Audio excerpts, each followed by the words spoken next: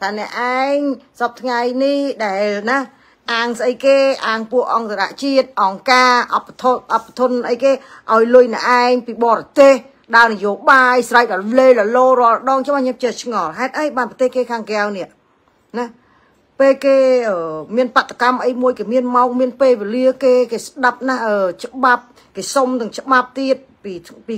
ឧបមាថាយើងត្រូវបដកម្មនៅកន្លែងណា ពីម៉ោងប្រមាណអីប្រមាណពីរឿងអីក៏ដោយអានេះមិនដឹងវិបត្តិកម្មស្អីមកណាកាវលវាមនុស្សតដែលដែល2ឆ្នាំជាងឥឡូវបានទៅចេញមកបានយើងដែលដែលនាំគ្នាលេងសម្ដែង Facebook ដែលមើលដែលនៅក្រៅហ្នឹងជាក្តៅក្រហាយទៅហេតុអីមកពួកយើងធ្វើវាមិនបាន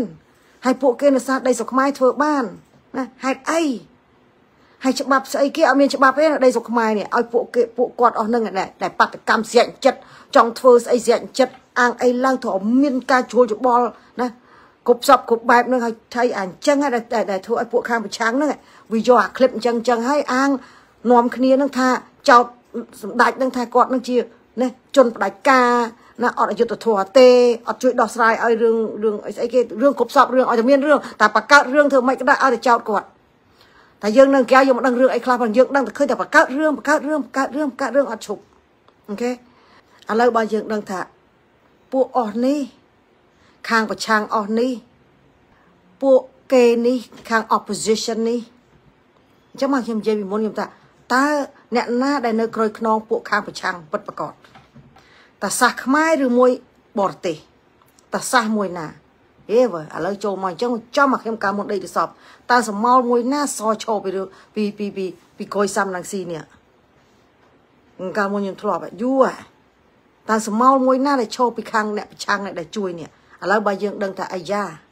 សម្ដេចគាត់មិនមិនដឹងទេគាត់ដឹង បរទេសនៅបរហាញបិហាញខាងក្រោយពួកគេប្រឆាំងនឹង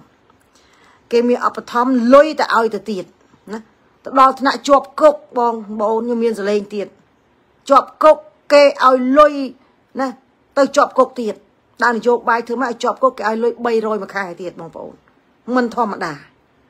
ណែអាបរទេសក្តៅកាហាយសុំទោសដាក់មកសន្លត់មួយចោលតាឯងក៏សបើម្លេះ អាងហាយជាសាសខាងក្រៅបរទេសខាងក្រៅឲ្យមើងងាយណាប្រទេសខ្មែរដល់ថ្នាក់ហ្នឹង